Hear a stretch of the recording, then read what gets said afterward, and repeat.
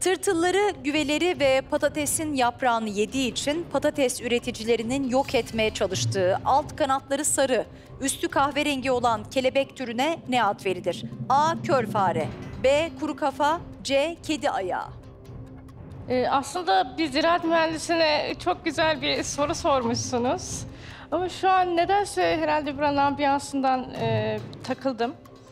Ama bana yani açıkçası kör fareymiş gibi gelmiyor. Hani kör fare evet bir zararlı türü ama e, adı üstünde fare hani.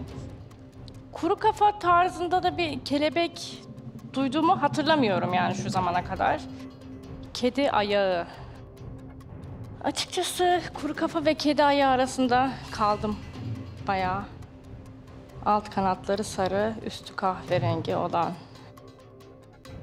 Yani biraz erken olacak ama ben yine galiba Tufan hocama bir dönmek istiyorum. Tamam dönelim hocamıza. Bir şık elemesini rica edelim. Hocam Evet, e, insana bildiği yerden ya da kendi alanından soru gelince bir an bütün bildiklerini unutuyor. Öyle oldu. Olsun, e, dert etmeyin.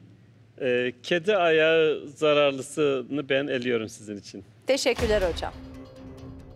Acaba kör fare mi kuru kafa mı? Ee, şu an zaten iki seçenek arasında kalmıştım. Ee, ben B kuru kafa demek istiyorum. Onaylıyor musunuz? Onaylıyorum. Bakalım.